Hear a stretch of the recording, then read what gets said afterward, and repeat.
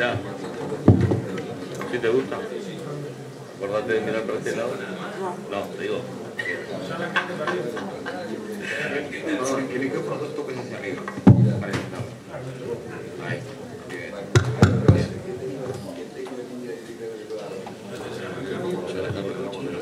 Sí, sí. Pequeño souvenir.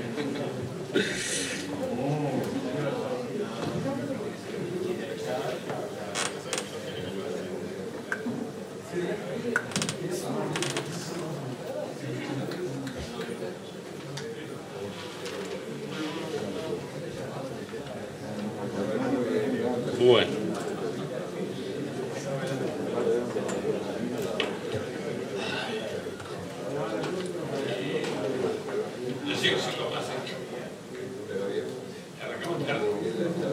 Compensamos,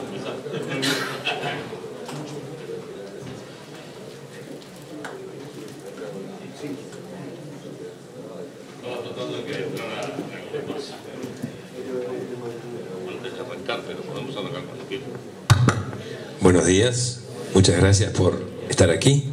Quiero agradecer a Enrique Hidalgo por la amable atención que tuvo al invitarme. Me presento, mi nombre es Gustavo Yanatasia, allí figura mi correo. Cualquier mensaje que me quieran enviar, por supuesto que bienvenido. Aquí cumplo dos roles. Por un lado, eh, soy gerente de Conatel y aquí nos acompaña Omar Batalla para dar apoyo a, en fin, a los contactos con ustedes. Quiero que lo conozcan y que tengan un poco de interacción con él. Y por otro lado, eh, soy miembro de AAA y pertenezco a un comité precisamente de Smart Cities. Este, pero vamos porque nos quedan 45 minutos. El propósito de la charla es dar una introducción general, que es bastante difícil hacerlo en 45 minutos, pero el concepto de Smart City en realidad se basa en el concepto de Smart X. ¿Por qué X? Porque está Smart Salud, Smart Government, Smart Transportation, eh, Smart eh, lo que quieran. Entonces, est- este slide que es la introducción resume todas las aplicaciones donde Smart X es este, importante. Por ejemplo, manejo de la energía, el hogar, eh, data centers, transporte, distribución de mercaderías, aspectos financieros, etcétera, etcétera, etcétera. Todo se basa en las comunicaciones. Por eso en el centro yo puse eh, todos los sistemas de comunicación disponibles necesarios para esto. Pero vamos a ver a lo largo de la charla que no todos esos sistemas están aptos para dar apoyo a lo que realmente se conoce como Smart City. ¿Por qué? Porque hay una gran cantidad de potencial de sensores que es necesario atender, que no es lo mismo que atender un número reducido de teléfonos. Ya los teléfonos son unos cuantos, pero los sensores multiplican por más de 100 la población de sensores. Entonces, con eso tiene que haber algunos detalles que tienen que implementarse en las redes de comunicaciones para permitir que esto funcione adecuadamente. Hay algo así como 200 definiciones de Smart City, pero reduciéndonos a lo que dice la Wikipedia, que yo confío en esto porque me gusta cómo está expresado, eh, en realidad es el uso de la informática y las comunicaciones para hacer un desarrollo sostenido económico. ¿sí? Entonces, más importante que esto aún es que esa eficiencia, ¿sí? esa eficiencia debe estar basada en la participación de los ciudadanos. ¿Qué quiero decir con esto? Que todo lo que hagamos de tecnología, si no tenemos como foco al ciudadano, no tiene sentido. Podremos poner muchas cosas de transporte inteligente, pero si la gente no aprovecha todos esos servicios, no tiene sentido, estamos gastando dinero. Entonces, el foco de todas nuestras acciones e iniciativas tienen que ser los ciudadanos. Hay tres universidades que han hecho algunos avances en este tipo de definiciones y ellos clasifican en esos seis aspectos. Como yo les decía, eh, Smart X, la X puede ser sustituida por economía, gente, go- governance, movilidad. Pero miren qué interesante, eh, calidad de vida. O sea, acá el ser humano está como centro para estas personas que definieron ciudades inteligentes la calidad de vida. ¿Qué quiere decir? Condiciones de salud, de seguridad, de habitación, de educación, atractivos turísticos y sobre todo cohesión social. ¿Qué quiere decir cohesión social? De que hay una cultura embebida en la organización social que permite un diálogo eh, fructífero, que todos puedan progresar y lograr un desarrollo económico. Aunque parezca mentira, esto no es tecnología, sino que es aplicaciones para que la humanidad sea más feliz. Vamos a dar un par de ejemplos. Eh, el año pasado hubo un concurso mundial que aplicó Guadalajara de México y lo ganó y fue apoyada por IEEE para crear una ciudad inteligente en un barrio de Guadalajara. Este, el principal promotor de esta idea figura allí, es la segunda foto, es el ingeniero Roberto Zaraco, un italiano, que siempre estuvo en temas de innovación y de futurología tecnológica. Esta ciudad creativa digital, ustedes la van a poder encontrar en internet, tiene una cantidad de ventajas para todo lo que implica el bienestar de la población basándose en la tecnología. Y IEEE en este caso hizo un aporte relativamente bajo para lo que es este, el mundo, ¿no? alrededor de unos 450 mil dólares aproximadamente, más que nada para becar a estudiantes que puedan sostener esto cuando entre en operación continua, o sea, no para el diseño, sino para sostenerlo una vez que esto se implante. Y otro tanto para implementar todo lo necesario que permita que en esa zona de la ciudad se prueben todas las tecnologías necesarias que luego la gobernación de México, que ha puesto el dinero restante, que es mucho mayor que esos 400, lo va a desarrollar en otras áreas a criterio suyo. O sea que es una especie de laboratorio apoyado por el Instituto de Ingenieros en forma totalmente desinteresada, es más, con, apoyo de fondos. ¿Por qué digo esto? Porque al final de la charla les voy a presentar un concurso que es muy similar, que se aplica en toda la región Latinoamérica, donde van a elegir a dos ciudades para hacer algo similar. Entonces a mí me gustaría que algún municipio de Uruguay se postule a eso, tenemos tiempo hasta el 16 de mayo, de forma tal de que logremos eh, desarrollar otro aspecto de la ciudad inteligente, tal vez diferente al de Guadalajara. Y es muy importante porque es un piloto que luego se replica en otras partes del mundo. Puede ser Uruguay un centro de referencia de algún municipio específico que luego se ha tomado como modelo para replicarlo en Perú, Chile, etcétera, etcétera. El otro ejemplo es el 22 Arroba, que es el Guadalajara de Europa. Este ganó el premio anual de innovación. ¿sí?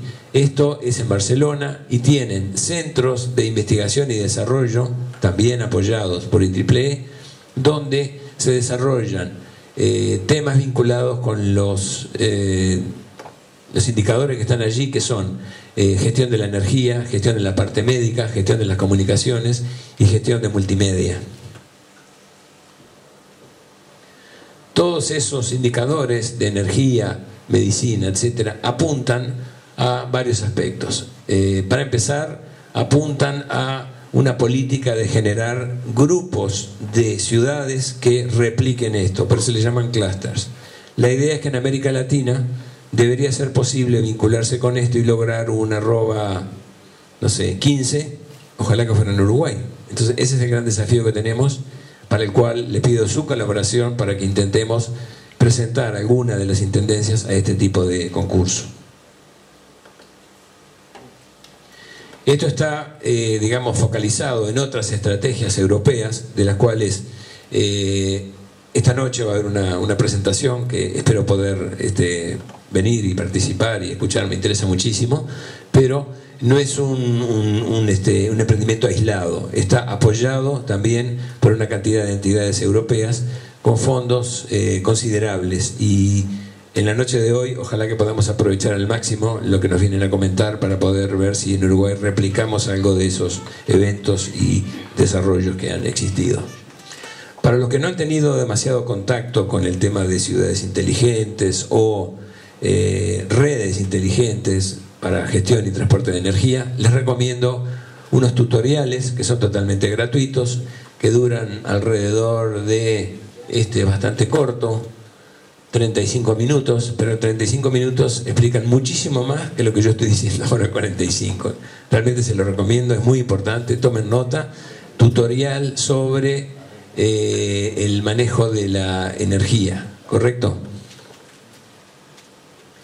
¿Dónde es aplicable todo ese concepto de, Smart X?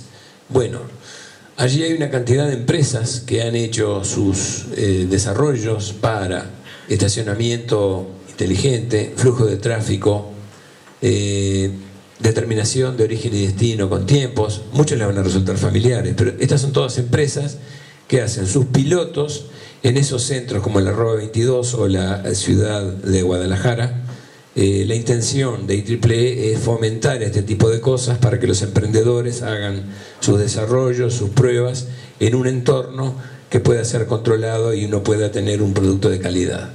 Eh, allí a la derecha, yo recuerdo hace unos años, lo dijo Carolina Cose, un sistema, es un poco inusual para Uruguay, ¿no?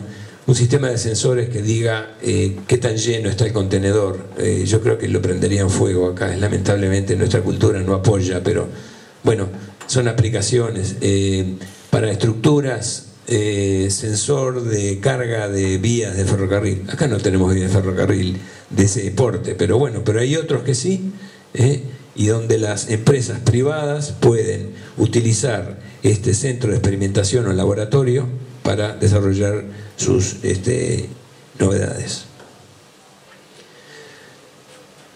¿En qué se basa todo esto? Esto se basa en la interacción entre básicamente dos máquinas. Por eso el lenguaje máquina a máquina yo considero que es la base de todo lo que es smart medicina, smart gobierno, smart lo que financia, lo que quieran llamarle.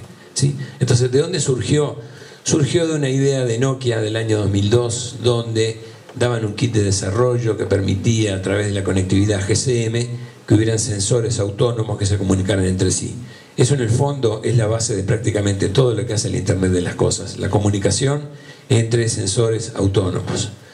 ¿Qué puede ser? Cableado, en el año 80 ya UTE tenía sus escadas donde controlaban las potencias emitidas, la frecuencia, eh, los horarios de cambio de transformadores, etcétera, eh, todo cableado. Pero posteriormente apareció el celular, apareció otra cosa que se llama capilar e híbrido. Hoy vamos a ver esos dos. El celular, no hay necesidad de explicarlo, tenemos LTE disponible por varios operadores acá en Uruguay, pero aún así yo les quiero comentar que ese LTE que está hoy disponible, hasta que podría ser optimizado para el manejo de sensores, que no lo está.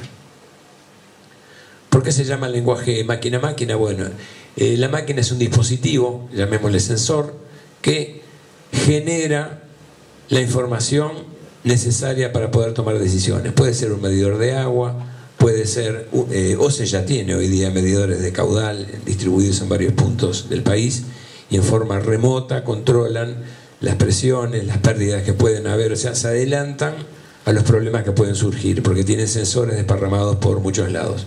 ¿Eso es una ciudad inteligente? No, eso es un control del agua inteligente. Vamos a ver en la misma más adelante cuántos posibles controles podemos llegar a clasificar y vamos a ver que algunos, capaz que en Uruguay ya hay algo incipiente. Em, el tú, el 2, eh, refiere a las redes. O sea, nosotros podemos tener medidores de caudal, pero si tenemos que tirar un cable desde Artigas hasta Montevideo es inviable. Entonces necesitamos algún sistema de transporte, redes de datos eh, flexibles y eh, disponibles en todo lugar para permitir que esos sensores se comuniquen entre sí. Y finalmente, la otra máquina que es eh, lo más importante de todo el sistema, que es lo que transforma los datos capturados en información, es lo que permite tomar decisiones. Llámese un computador con un programa o N computadores con N programas que permiten adelantarse a problemas de polución, a problemas de salud, a problemas de manejo de finanzas, etcétera, etcétera. ¿Qué desafíos tiene una red donde los sensores tienen que hablar entre sí? Y bueno, primero de todo hay que soportar millones de nodos. Ese es un detalle que supera a lo que es la telefonía celular. ¿sí? Segundo, tiene que tener una operación autónoma. O sea, yo lo tengo que poner en un sitio, por ejemplo, en una estación de bombeo, de petróleo, ahí en José Ignacio, y después en el medio, cada 10 kilómetros. Pero yo lo tengo que poner y dejar ahí, que eso se arregle solo, por lo menos por un año. No, no tengo que ir todos los días a tocarle algo. O sea, se tiene que registrar en el sistema, se tiene que identificar y tiene que empezar a mandar información. Todo esto en forma automática.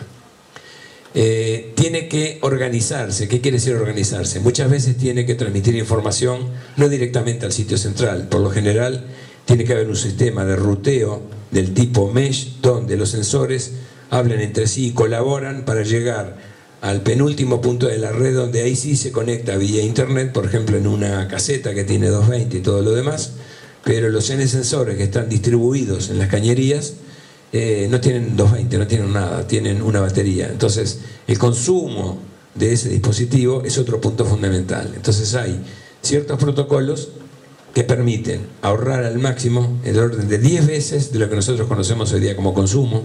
Por ejemplo, un consumo de un sistema Wi-Fi, un access point, lo reduce 10 veces, lo cual permite el uso de baterías de mediana duración que le dan al sensor una autonomía de por lo menos un año. Por supuesto, tiene que ser confiable, etcétera, etcétera. O sea que instalar sensores no es adentro de mi casa. Puede ser dentro de mi casa, pero en realidad el máximo provecho es en las intersecciones de las calles, donde pueda saber qué ómnibus pasó, a qué hora pasó, y lo pueda transmitir un sitio central que controle, bueno, el programa de este ómnibus tiene que pasar por tales esquinas a tales horas. ¿Pasó o no pasó? Hay que poner sensores en esquinas. Este, ¿Qué posibilidades permite automatización de edificios, telemetría, redes, esto es para, para UTE más bien, UTE ya está con un proyecto de Smart Grids, y para automatización industrial. En este sentido, eh, hay varias empresas de Uruguay que ya están incursionando, por lo menos en automatización de edificios, en automatización industrial y en diseño de Smart Grids para UTE. ¿Cuál es la realidad del mundo? ¿Qué otras opciones hay? Bueno, yo les voy a dejar un PDF en algún momento para que lo, revisen, pero hay millones de sensores necesarios para poder saber el nivel de azúcar de la sangre de los pacientes que no tienen por qué estar en el hospital. Un diabético puede tener un sensor que transmite a través de su celular el nivel de azúcar, el estado funcional de su riñón, etcétera, etcétera. Y entonces, en un centro especializado, pueden tener controlada toda la población diabética mediante el uso de sensores médicos. Hay una estimación solo este, hecha en Inglaterra para gran parte de Europa que podía llegar a haber este, un volumen enorme de sensores. Por eso yo mencionaba que no es lo mismo que tener celulares. El tema de los sensores es bastante más complejo. El transporte inteligente. Eh, las compras inteligentes, aquí ya está bastante avanzado Uruguay, hay pago mediante celular, etcétera. Ese tipo de cosas son este, las que el máquina máquina eh, resuelve. Eh, el control del agua inteligente, saber qué pérdidas hay, dónde hay, dónde me están robando agua, por ejemplo, etcétera. Este, eh, medidores inteligentes, ya hay medidores de consumos este, por horario el tema es que eh, eso puede ser transmitido en tiempo real, no solo en forma inalámbrica, sino a través de la red de potencia, y puede el operador de un sistema de energía tener en tiempo real este, qué está sucediendo, para así saber si tengo algún tipo de eh, pérdida de energía de algún este, cliente muy inteligente. ¿Qué papel juega la radiofrecuencia? Fundamental, porque esto de tener los sensores distribuidos sin necesidad de un cableado nos lleva a algunas tecnologías que allí están indicadas, por ejemplo el Wi-Fi, todo el mundo la conoce, Zigbee, mucha gente lo conoce, esto es para eh, un alcance corto y una velocidad bastante baja, pero una autonomía enorme por el ahorro de energía que representa. Eh, redes eh, celulares de nueva generación, LTE, ya lo tenemos en varios operadores celulares en, Uruguay, incluso tenemos fibra, que allí no figura como en radiofrecuencia, pero la fibra también este, es un vínculo fundamental para poder desarrollar una ciudad inteligente. ¿sí? Entonces, con esto eh, pasamos un poco a desarrollar algunos cambios necesarios, algunos cambios necesarios que deben de ocurrir en las redes públicas. Este es el caso de LTE. LTE recién inaugurado, eh, requiere un protocolo especial que permite considerar el uso de sistemas autónomos de sensores. No es ya tener en cuenta los servicios para un celular, sino dar un servicio para sensores. Y esto es bastante importante al punto que eh, Lo verde es el bloque funcional de lo que es necesario implementar en una red LTE. Insisto, esto no existe hoy en Uruguay, pero Uruguay debería de prepararse para esto, para poder contener una red de sensores de un volumen importante. Me dirán, Uruguay es chico, esto puede ser chico. Es correcto, puede ser chico, pero igual es necesario. No es lo mismo implementar esto en Brasil que implementarlo en Uruguay. Por eso yo insisto, Uruguay tiene grandes chances de ser elegida como eh, laboratorio, prototipo para este, eh, esta iniciativa de IEEE de promover una ciudad inteligente en algún lugar de Latinoamérica. De hecho, en dos durante este año. Entonces, de vuelta, todo esto verde, no vamos a entrar en detalles, esto es demasiado técnico, pero permite dotar a un sistema LTE de lo necesario para que los sensores funcionen en forma adecuada. Si yo tengo 10 sensores, igual van a funcionar. El tema es cuando empieza a tener, no sé, un millón de sensores. Puede ser la cédula de identidad que tenga un sensor y yo quiero rastrear.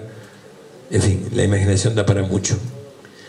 Hablamos de algunos modelos cableados del año 80 a la izquierda, hablamos de un modelo celular a la derecha, pero hay otras intermedias que son eh, capilar cableado y capilar celular. Yo creo que el dibujo es bastante explicativo, indica algún tipo de sensor, por ejemplo, en una cañería de gas o de agua o un transporte de energía y un dispositivo que es el que captura todo eso para luego llevarlo a dónde? A la segunda M del M2M que es el PC con la aplicación que gestiona eh, todos estos datos para eh, obtener información.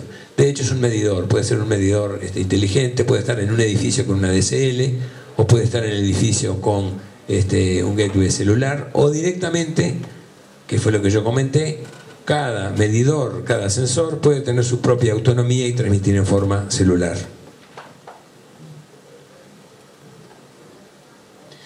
Tomemos un ejemplo de red inteligente para ver qué otros elementos son necesarios. Obviamente precisamos un sistema de transmisión, requerimos un sistema de generación, eh, y el actor principal de esto son los consumidores finales. ¿Qué desafío trae esto como red inteligente donde yo pueda poner sensores, donde yo pueda controlar la distribución? No solo mirando los instrumentos a la salida de mi estación, sino mirando los instrumentos a lo largo de la transmisión y al final en las casas de los suscriptores míos. Presenta serios problemas de gestión de toda esa red y sobre todo de seguridad. Hay un... Em, hay un concurso de Cisco que termina dentro de un par de meses para eh, entidades, universidades o empresas que deseen aportar su conocimiento para definir el tema de seguridad dentro de lo que son redes inteligentes, dentro de lo que son Internet to Everything o Internet of Things, que es lo mismo, donde cada nodo es un sensor. Entonces, ¿Qué seguridad le vamos a dar a eso? Incluso está en análisis, o sea que hay puntos de vulnerabilidad, por lo cual el avance no es tan rápido como uno quisiera porque pueden haber este, sospechas de que puede haber algún ataque que haga... Hay estudios incluso que dicen cuánto demoraría un hacker en tirar abajo el sistema de energía de Estados Unidos. Yo este, creo que eso eh, se va a resolver muy pronto. Bien. Eh, en función del tiempo, vamos a aceptar de que eh, uno de los desafíos más grandes es el tema de la seguridad. Resumo en eso. Otro desafío es el manejo de grandes volúmenes de información. Entonces, todos estos sensores que generan enorme cantidad de datos, imaginemos que cada 20 milisegundos estoy enviando mis latidos cardíacos o cada minuto. Si contamos a toda la población, todo eso se hace un número enorme. Entonces tenemos que tener sistemas que permitan controlar todo ese volumen enorme de información, para lo cual, naturalmente, una de las soluciones es tener data centers de gran capacidad. Aquí se muestra un poco cualquier resumen de arquitectura smart. Tenemos una parte de computación embebida, esto es, sensores que tienen su CPU, su inteligencia propia, para detectar señales y a su vez generar un dato y lo transmiten al sitio central. Por eso se llama computadores embebidos. Pueden ser incluso eh, relojes. Eh, hace poco me regalaron uno que a mí no me convence porque no soy un deportista que permite bueno una cantidad de cosas, latidos cardíacos, pasos, pa, pa, pa, pa. y habla con el celular. Y el celular habla con este, Gmail. Entonces, una vez a la semana eh, he recibido resúmenes por Gmail que me dice, bueno, el lunes usted dio tantos pasos, caminó, subió tantos escalones, pa, pa, pa. Bueno, lo usé 15 días y después dije, bueno, eh, esto es demasiado control, lo dejé por unas semanas. Pero de hecho, es un ejemplo de un sensor que toma eh, bio eh, datos y lo envía a un centro donde se procesa todo eso. Entonces, ¿qué tenemos? Bueno, precisamos el sensor, la red a través de gateways. ¿Y por qué cloud computing en inteligencia? Precisamente por lo de Big Data. Tenemos tal cantidad de información, imagínense si cada, no sé, el 10% de la población mundial usara ese tipo de relojes, es un volumen importante. Tenemos que tener un sistema del tipo cloud. Y este, todo ese manejo hace que eh, en mayor o menor medida toda arquitectura smart se basa en estos bloques funcionales. Todas esas comunicaciones no son arbitrarias. Yo podría tener sensores que hablaran su propio lenguaje y no se entendieran con otro que no fuera mi fabricante, el mismo. Pero en realidad, eh, no los voy a aburrir con esto, pero hay una infinidad de protocolos tremenda donde IEEE juega un rol muy importante, que es lo que permite que hablen entre sí los dispositivos. Pero no es la única, IEEE no es la única empresa yo no las conté, pero les dejo como desafío que cuenten cuántas empresas de tecnología y cuántas organizaciones profesionales están dedicadas a eh, la definición de la normalización de todos estos sensores. Unas cuantas. Yo creo que esto a mí me, me causó bastante sorpresa. Yo pensaba que serían tres, cuatro, cinco. Son bastante más, ¿verdad?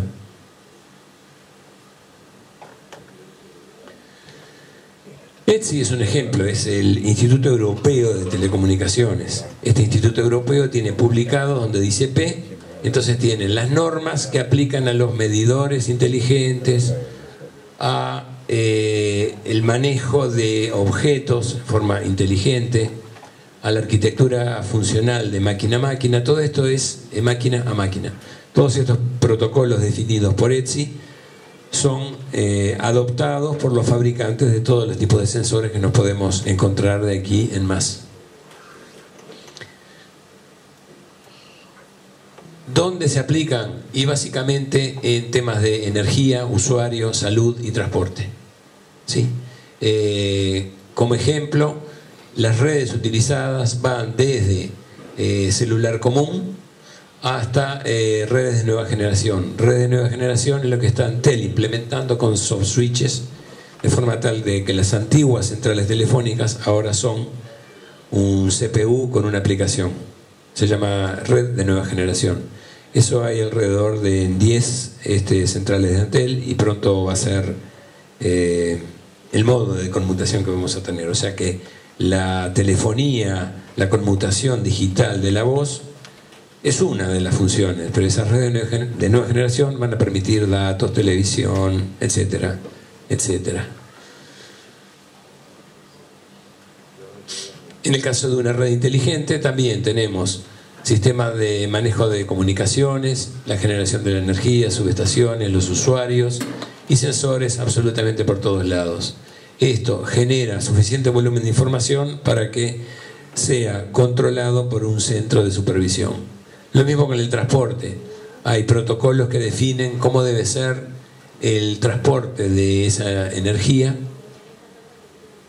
y todo vinculado a un sistema inteligente.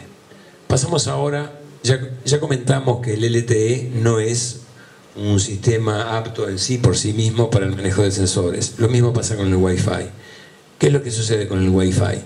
Eh, estos dispositivos para poder eh, salvar energía se ponen a dormir cuando no es necesario y se tienen que despertar en determinado momento y transmitir información y después se vuelven a poner a, dormir. Todo eso no está en el, en el protocolo 811 normal, por eso existe uno de AAA que se llama AH, que define todos esos tiempos que permiten hacer el ahorro de energía. Y hay una tabla comparativa con el llamado Low Power Wi-Fi, que es el de la izquierda, con el, de la, perdón, el Low Power Wi-Fi es el de la derecha y el otro es un, protocolo también de baja energía, pero que no es el AH. Y ahí se ve que el, el consumo es 10 veces menor en el caso de este AH. Por lo tanto, los sensores van a tener que ser eh, conformes al 802.11AH. No alcanza a tener un sensor que me diga esto es 802.11N. Eh, está complicado. Eh, me va a gastar 10 veces más energía. No sé si voy a tener suficiente autonomía. Otros lugares donde IEEE tiene un rol importante es en la eh, inteligencia del hogar. Toda esa inteligencia es necesaria para transmitirlo a un sitio central o para yo mismo administrar. Entonces, esto es bastante largo, pero podemos ver normalizaciones de medidores, normalizaciones de Smart Grid dentro de mi casa. O sea, yo puedo controlar el consumo de mis aparatos, puedo saber cuánto me está consumiendo en este momento. Yo desde aquí puedo tener una aplicación en mi teléfono que la levante y digo, en este momento estoy consumiendo tantos vatios porque se prendió el aire acondicionado y qué sé yo, bueno, voy y lo apago, cosas por el estilo. ¿ah? Este, incluso hay estándares para vehículos eléctricos, que acá yo no he visto ninguno, pero en otros lados se ven. Esto está por llegar. ¿Y por qué es importante que esté normalizado? Porque permite conectar todo con todo sin necesidad de ponerse a discutir. Bueno, a ver, ¿cómo nos vamos a comunicar? Eh, yo te mando 5 voltios, entendés que es un 1, y, o te mando menos 5 y entendés que es un 0. ¿Qué hacemos? No. Esto ya está todo cocinado y resuelto. Esta otra serie de estándares también es aplicable, por ejemplo, al ámbito de UTE para tener una red de transporte inteligente y como ven hay, eh, no sé, hay como 15 posibles estándares que todos los fabricantes de transformadores que tengan algún sensor inteligente tienen que cumplir con esto, porque si no cumple con esto, el resto de la red de transporte y la parte de el centro que genera toda la información a partir de esos datos no se van a poder comunicar. Por eso la comunicación entre máquinas requiere que existan protocolos. También IEEE tiene en lo que es salud inteligente una serie bastante importante de protocolos a los cuales todos los fabricantes de distintos tipos de sensores, llámese latido compresión, consumo de eh, oxígeno en sangre, etc., cumplen con estas normas. Y este instituto, en forma gratuita, digamos, desinteresada, tiene comités que analizan todo esto y son un estándar para la industria independiente y permite que los fabricantes se ajusten a esto y evita que haya desarrollos propietarios, como suelen haber por ahí y tienen sus limitaciones. Bien, un poco como para terminar, les quería comentar de que hay otra asociación internacional también importante que se llama el City Protocol, donde eh, su lema es, en realidad Internet eh, cambió nuestras vidas, o sea, me cambió a mí la forma en la cual yo trabajo, la forma en la cual desarrollo mis cosas, pero las ciudades siguen iguales. Entonces, el objetivo de ellos es transformar distintos aspectos de esas ciudades en eh, ciudades o sistemas inteligentes, para el cual, primero, ellos consideran que uno de los campos es la parte de información que, consiste en lo que es la transmisión, la distribución y la recepción, el web. Antel está trabajando en esto, eh, Movistar, Claro, etc. O sea que eh, no nos llama mucho la atención de que haya un área que refiera a lo que es la transmisión de información. En otros países hay lugares aislados en la selva donde no tienen recepción, no tienen web, etcétera, etcétera. Y bueno, ellos consideran que tiene que haber, no sé, en cada planta de soya eh, el otro tema es el manejo del agua. Este organismo, ¿sí? que es una asociación sin fines de lucro, considera que el manejo del agua, ya sea la obtención, la depuración, el tratamiento, el consumo y el desperdicio del agua, no puede ser algo que sea eh, ajeno a un control computerizado. Sigue con el tema de la energía, ya mencionamos el tema de las redes de energía inteligentes. También considera que el manejo de los eh, residuos sólidos es un problema para las ciudades, llámese los desperdicios, tanto desde el punto de vista de la fabricación con los desperdicios de la fabricación, como la energía que se consume transportando desde el fabricante hasta el consumidor, y finalmente cómo hago con los residuos, cómo los reciclo o cómo los quemo. todo esto tiene una ecuación de balance energético que esta gente propone que alguien le meta un poco de cabeza porque si no nos vamos a llenar de basura y de aire contaminado. Otros temas que consideran importantes para que una ciudad pueda considerarse inteligente no es que resuelva alguno de los problemas anteriores. En teoría, debería resolver muchos de estos problemas, aunque no sean el 100%. Por ejemplo, el transporte, la movilidad, tanto desde aeropuertos, puertos, trenes, bus, metro, etcétera, eh, son temas que en Uruguay tal vez se perciba el tema de los vehículos, los automotores. A ciertos horarios hay picos, hay problemas de tránsito, pero en otros países se ve ese problema agravado porque hay una población mucho mayor. Entonces, de vuelta, qué interesante poder hacer en Uruguay algo que permita experimentar, hacer pruebas con este tipo de diseños para que luego se apliquen en otras ciudades. La naturaleza no queda de lado, también el tema del impacto en la huella de carbón, el problema de la generación de monóxido de carbono, de la agricultura, etcétera, etcétera. Todo esto es parte de lo que ellos consideran que una ciudad debería tener gente dedicada a cada una de estas cosas. En realidad no son temas aislados, como les decía, una ciudad tiene que tratar de resolver eh, la mayor cantidad posible de esos problemas. Por eso es un sistema de sistemas, donde está todo absolutamente interconectado. En la parte superior están los seis casos que mencioné en las láminas anteriores y en la parte de abajo lo voy a resumir en algo bastante más sencillo, que es una evolución natural de lo que es el uso de los sensores desde, bueno, empiezo a usar en mi hogar, empiezo a hacer edificios inteligentes, hago manzanas, barrios inteligentes, ciudad, etcétera, ¿no? Bueno, yo considero que estamos tal vez, no en Uruguay, pero en general en América Latina, porque en Colombia están trabajando muchísimo en esto, en México también, en determinados barrios inteligentes. El desafío es pasar a que haya una planificación de ciudad. ¿Sí? Entonces todavía nos falta, nos falta bastante para llegar a eso. Y esta gente del City Protocol fue tomada por la Municipalidad de Barcelona, donde le agregaron, como pueden ver arriba, están las cinco o seis, seis láminas anteriores que yo comenté que son necesarias para ser enfocadas, y eh, ellos le agregaron varios temas interesantes. Por ejemplo, la parte de gobierno y ciudadanía. En Barcelona hay una transparencia de gobierno. Cada ley, cada compra, cada proceso, cualquier ciudadano sabe exactamente qué es lo que está pasando. Están los datos absolutamente abiertos. Acá también hay iniciativa de gobierno abierto y está muy, muy, muy avanzada, está siendo llevada adelante por AGESIC. Eh, la red, eh, tenemos un gran protagonista que es Antel y Claro y Movistar, o sea que tenemos buenas condiciones de red. Eh, plataformas, bueno, se está generando un data center en Pando que yo creo que va a alcanzar para muchísimas cosas y hay que meterle algo adentro. Cada una de estas cosas sería un ejemplo de cosas que se pueden meter dentro de ese data center. Esto va a permitir el monitoreo, etcétera. ¿Y qué impacto tiene sobre los ciudadanos? Por eso yo insisto siempre que todo esto tiene que ser hecho no por la tecnología en sí, no qué lindo, tengo 20 megas en mi celular, bárbaro, no. ¿Qué beneficio me da como ser humano? Soy más feliz con esto, etcétera. Entonces, el impacto que en Barcelona buscaron fue influir en la educación.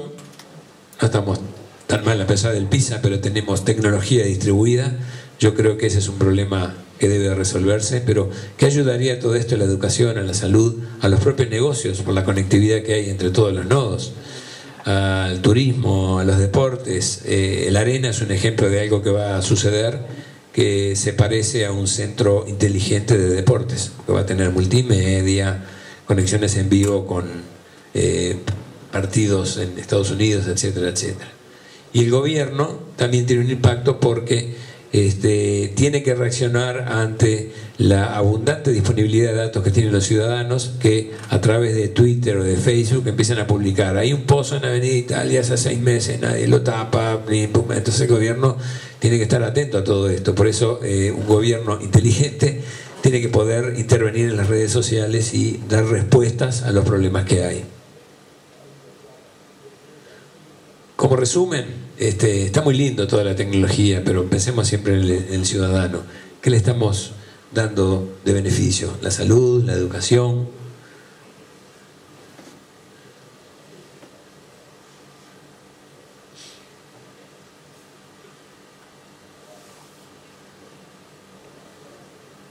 ¿Audio?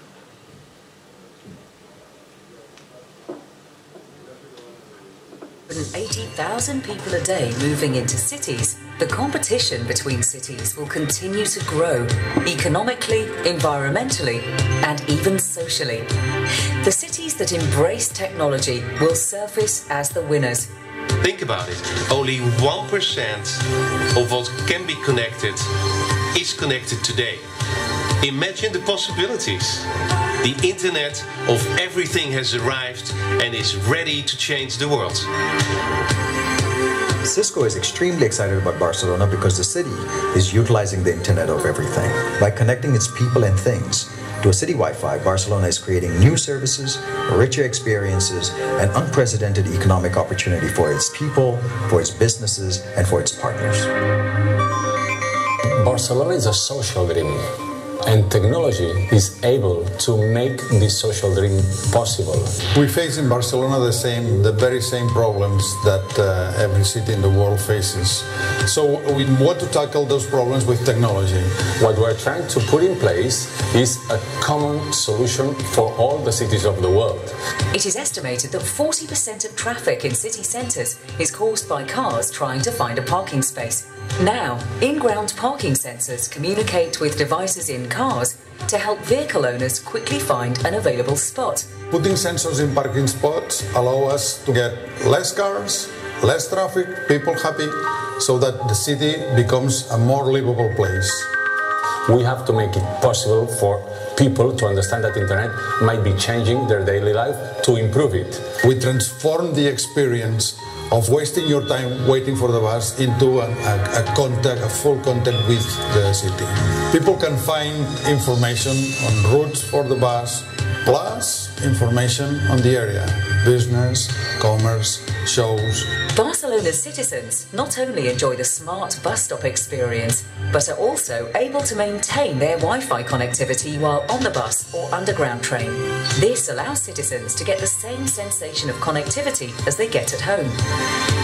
Understanding that much of a city's energy waste comes from less than optimal use of lighting, Barcelona is installing highly efficient streetlights which are dynamically managed to save energy, optimize maintenance, and provide a safe environment for citizens. A city-wide network of sensors provides city officials with concrete information so that they can make decisions based on real-time data. Getting information on the flow of citizens, on noise, on pollution, on traffic, on weather conditions allows cities to streamline the city operations, reduce costs, and also improve overall sustainability. Economic sustainability, social sustainability, and environmental sustainability. Barcelona can generate a blueprint of what the cities can become, and this is what gives sense, full sense to what we're doing in Barcelona right now. Technology is for people, technology is for using it, and technology is for improving citizens' lives. We are sure that the Barcelona of the future will be even much better than it is now. Smart cities represent places where people will want to live. By connecting the unconnected, cities will be completely transformed. These are the cities that will harness the power of the Internet of Everything.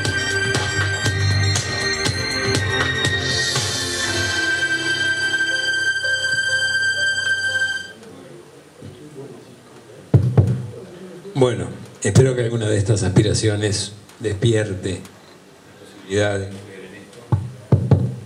y que logremos que alguno de nuestras ciudades, alguno de estos aspectos, los pueda aprovechar.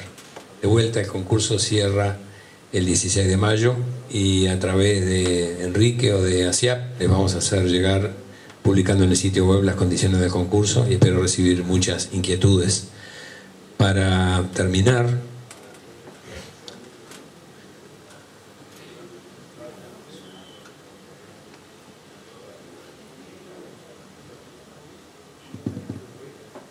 para terminar en los dos minutos que me quedan, un resumen y preguntas. Este, bueno, hoy vimos que es una arquitectura X inteligente.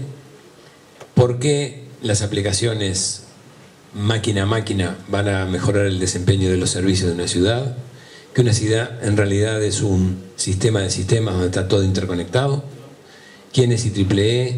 ¿Qué estándares tiene publicado? ¿Por qué son importantes los estándares? Eh, si yo quisiera obtener documentación o ver lecciones aprendidas o qué sucedió en otras ciudades, hay mucha información donde yo pueda acceder. Y finalmente, lo repito, el concurso, que a nivel mundial son nueve, pero a nivel de Latinoamérica son dos ciudades. Así que apurarse y si me quieren escribir a mí, encantado, o si no, a través de ASIAP, con mucho gusto recibimos cualquier inquietud para ayudar a completar el formulario correspondiente. Bueno, de mi parte, muchas gracias y ahora abrimos un espacio de preguntas, si hay alguna. No sean tímidos, anímense. ¿Alguna pregunta? Acá el amigo trajo algunas agendas para estimular la pregunta. No la puedo tirar, la pasas a recoger. Micrófono.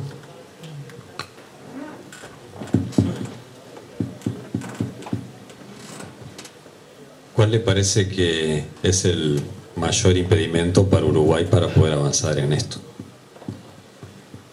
Yo creo que hay problemas culturales donde hay cierta desconfianza respecto a algunas organizaciones empresariales y que esto tiene que ser una tarea conjunta de empresas privadas, el gobierno y las universidades. Entonces, hasta que no tengamos una comprensión global donde cada uno vea que los demás son necesarios e importantes, esto va a estar complicado. En los países que esto ha funcionado, las universidades, el gobierno y las empresas privadas se han unido y todos han aportado algo y esto ha salido adelante.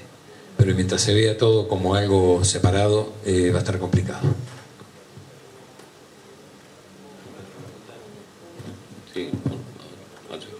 Hola, no, una pregunta sobre el, el tema del concurso. Digo, eh, ¿cualquier ciudad puede ser eh, elegible? ¿Tiene que tener algún prerequisito? Los requisitos están en el formulario de inscripción. Eh, lo quiero resumir, es un poco más largo, pero básicamente tiene que haber una entidad gubernamental que diga, a mí me interesa mejorar este aspecto. Pongámosle, por ejemplo, el manejo de los desperdicios, la iluminación, los semáforos. La ah, pero hay que enfocar un aspecto. Sí. Este, tengo presupuesto para hacerlo.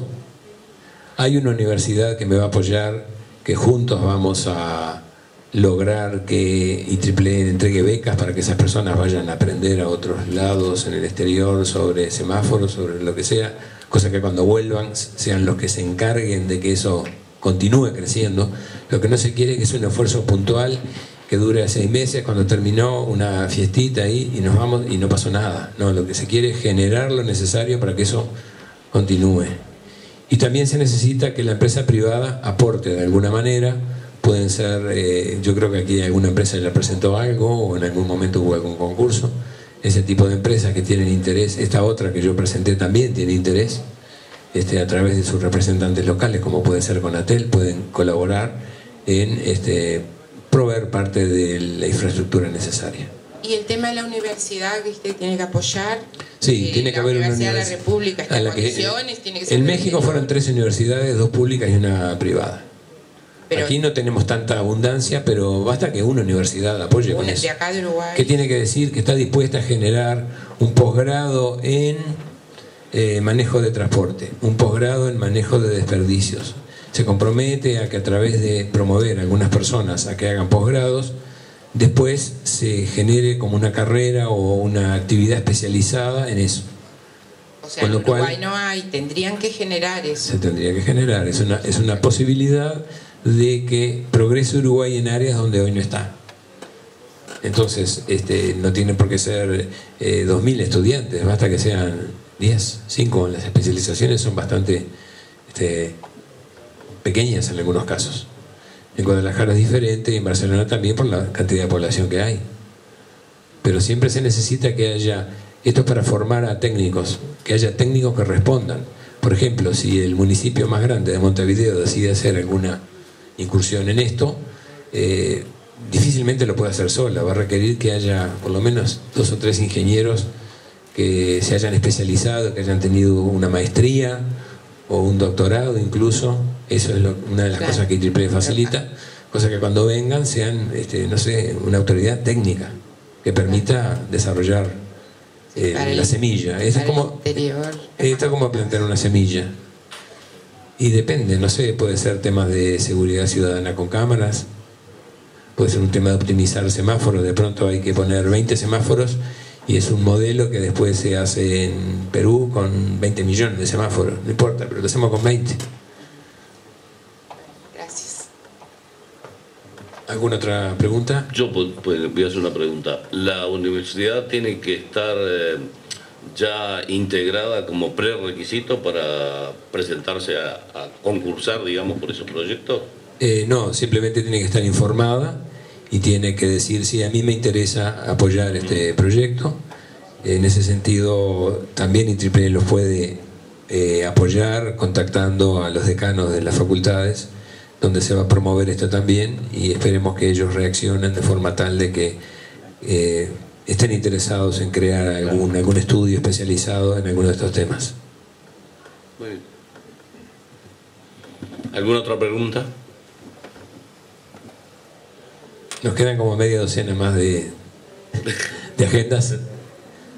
Bueno, igual se las van a tener que llevar aunque no pregunten. Hablan con Omar, le dejan una tarjetita y listo. Ah, perdón, adelante. Perfectamente. ¿Sí? Van a estar publicadas en el sitio web de ASIAP. Sí. Voy a tratar de esta noche mandárselas. Salieron hace dos días o tres días. No es que el 16 de mayo vence y esto se sabe desde hace dos siglos, no, se sabe desde hace, o formalmente desde hace dos o tres días. En el tema de gestión de residuos urbanos, la, la Universidad de la República tiene ya Excelente, mejor. algunos avances importantes en,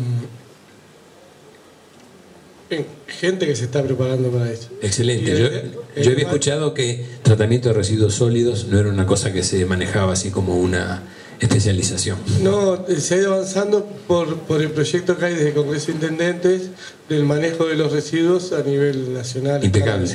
Y lo otro que de repente las intendencias asociadas con UTE se podría avanzar mucho es el sistema de gestión del alumbrado público. Correctísimo. Yo creo que UTE y Antel están llamadas a, a participar, tanto por el lado de la energía como de las comunicaciones. Y no creo que ninguna de las dos este, diga que no le interesa. La ATU, ¿sí? Bueno, si no hay más, hay una más. Allá. Hace tiempo que ASIAP eh, se está ocupando del tema de desechos tecnológicos y mañana vamos a tener algunas charlas al respecto. Podría ser un, Sí, perfectamente. porque estamos eh, en eso en el país estamos un poco atrasados y bueno, podría, pero ¿cómo se presentaría eso? Digamos, ¿es, es- es general de, de todo el país? Digo, Sí, tendría que No hay ser. problema. No hay No problema. tiene que ser una intendencia ni una ciudad. Pero tiene que haber un grupo que diga que lo va a liderar y lo va a seguir, que tiene que tener alguna entidad gubernamental que diga yo pongo la plata que sea necesaria para llevar esto adelante. Tengo un presupuesto. No es para eh, financiar todo esto. Lo que se financia son becas, eh, reuniones de entrenamiento, visita de gente del exterior para dar cursos, eh, ese tipo de cosas. Y puede ser una suma no que depende de la necesidad. De pronto alguna necesidad no es tan demandante y alcanza con menos dinero. El tema es que capture la atención de los organizadores de este concurso. Por ejemplo, si uno les dice voy a hacer exactamente lo mismo que Guadalajara, yo no creo que les interese. Habría que hacer algo un poquito di- distinto. Igual cabe la posibilidad de replicar lo que está hecho en Guadalajara y se ayudaría a que eso se haga. Pero no es lo mismo de que desarrollar un piloto nuevo donde aparecen fondos nuevos, viene gente a dar expertos, a dar charlas y ese tipo de cosas, preparar la gente para que se pueda arrancar algo nuevo. Ha- Habría que ver también si cuadra con las líneas de financiamiento de la ANI, por ejemplo. Sí, Si sin duda. pueden coordinar o combinar esas cosas. El tema es que haya un interés social por parte de alguna entidad del gobierno, podría ser ANI, eh, AGESIC, eh, etcétera, que tenga fondos como para decir, tengo un proyecto para eh, llegar a esta mejora. Ahora, si no hay ninguna entidad que diga, no, yo no tengo un peso, ahí estamos liquidados, porque va a aparecer Chile o va a aparecer Sí. Ecuador, qué sé, ese es un problema. Bueno, nos encargaremos de hablar con autoridades, todas las que podamos, aquí a través de ustedes, con las intendencias, por ejemplo, y gobiernos departamentales, y a través de ASIAP con este, universidades y algunas agencias del gobierno. Bueno, estamos con hambre, se terminaron mis 45 minutos, muchas gracias.